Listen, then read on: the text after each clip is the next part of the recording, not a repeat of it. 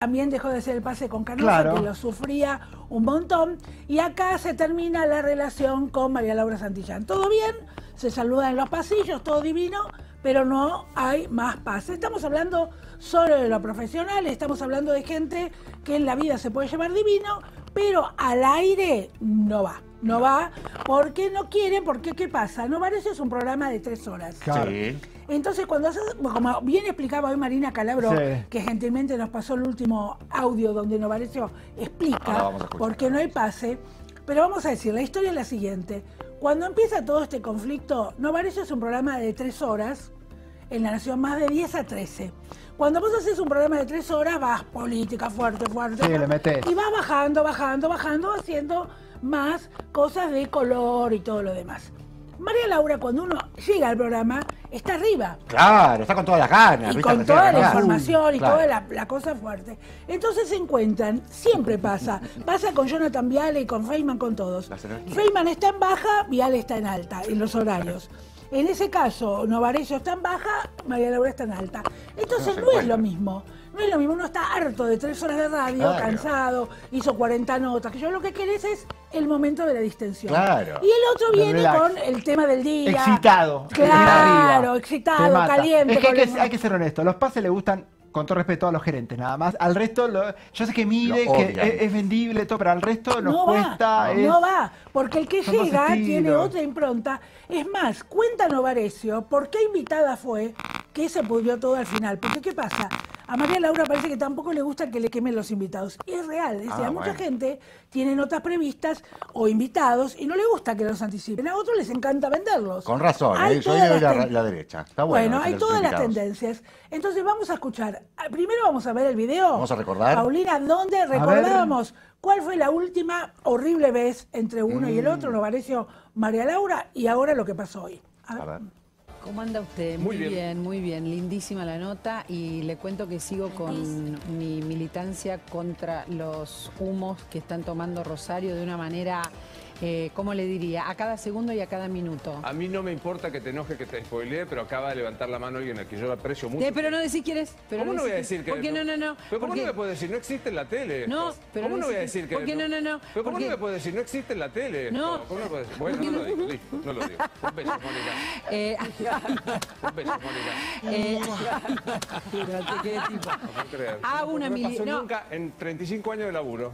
¿Decía, señora? ¿No es lindo sorprenderse? No, pero ah, pues dale. ¿No es lindo sorprenderse? No, pero ah, pues dale.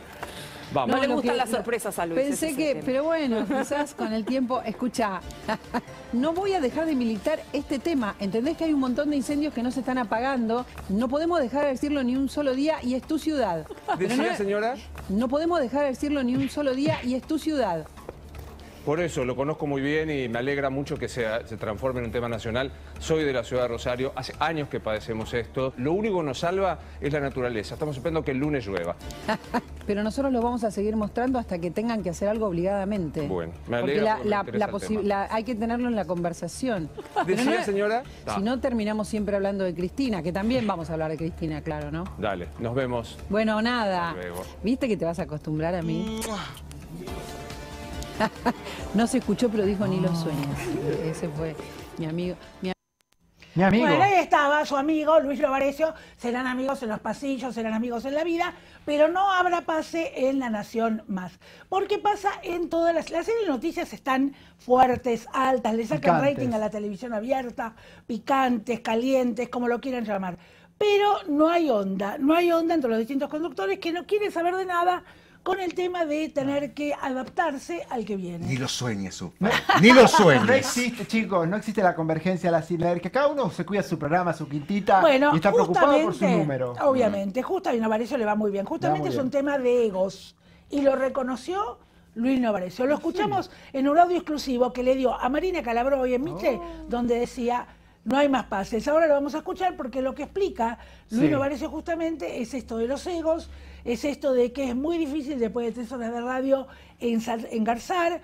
Y bueno, lamentablemente ahora vamos a ver. Te voy a decir algo, cuando pasa, a ver, los últimos 10, 15 minutos de un programa uno ya está pensando lo que tiene que hacer. Claro. Está como ya bajando la persiana. Y, venís y, te empiezan, viste, con los humedales que vos lo, hiciste a las 9 de la mañana. A menos que tenés un buen rating y estás muy arriba, pero cuando tenés esos días eh, fatales, lo primero que haces es irte en radio, en tele, en donde sea. Entonces llega el otro con el pase y toda la energía. Como le dijo María Laura, te vas a acostumbrar a mí. Te vas a acostumbrar. Ni lo sueñes, ni lo sueñes. A ver, Luis Novarecio, ¿qué te pasó? ¿Cómo le dijiste a Calabró? Hola Calabró, ¿cómo estás? Soy Luis Novarecio.